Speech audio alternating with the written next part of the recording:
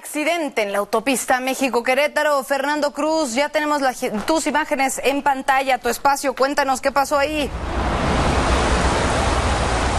Hola, ¿qué tal? ¿Cómo estás? Muy buenas noches. Efectivamente, un accidente, como bien lo mencionas, que se registra en los carriles laterales de la autopista México-Querétaro, en el perímetro conocido como Lechería, en los límites de Tultitlán y el municipio de Cotitlán Izcalli. Y lo que estamos viendo en las imágenes, pues es un tráiler que volcó precisamente al salir precisamente del municipio de Cotitlán Izcalli, pasar por este bajo puente y pues bueno, al parecer las llantas traseras pegaron con pues la banqueta precisamente de carriles laterales y esto provocó que volcara. También se nos informa que fue debido al exceso de velocidad y al exceso de carga, transporta cerca de 20 toneladas de eh, papel higiénico y pues bueno, así quedó, ya suman un poco más de tres horas el tiempo que están trabajando los servicios de emergencia para poder colocar esta pesada unidad sobre sus neumáticos.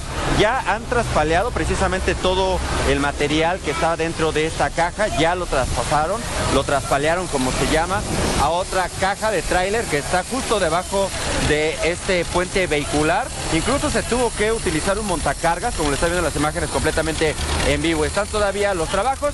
Ya la caja de este tráiler que volcó está completamente vacío, déjame mostrarte.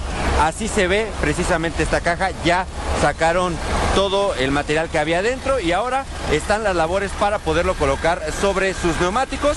Grúas de alto tonelaje están trabajando, muy importante, se encuentra cerrada la carretera que une precisamente la carretera vieja Cuautitlán-Tlanepantla en su intersección, reiteramos, con laterales del amigo Querétaro, esto en dirección hacia la zona de Tepozotlán. De acuerdo con autoridades, podría tardar todavía cerca de 45 minutos, una hora más, para que esta unidad sea retirada. El chofer afortunadamente resultó con lesiones leves, no fue necesario su traslado hospitalario, pero severo caos el que está provocando la volcadura de esta pesada unidad, Paula. Bien, pues sí, es muy evidente la razón y pues vamos a estar entonces cerca hasta que esto se logre desbloquear. Gracias, Fer Cruz.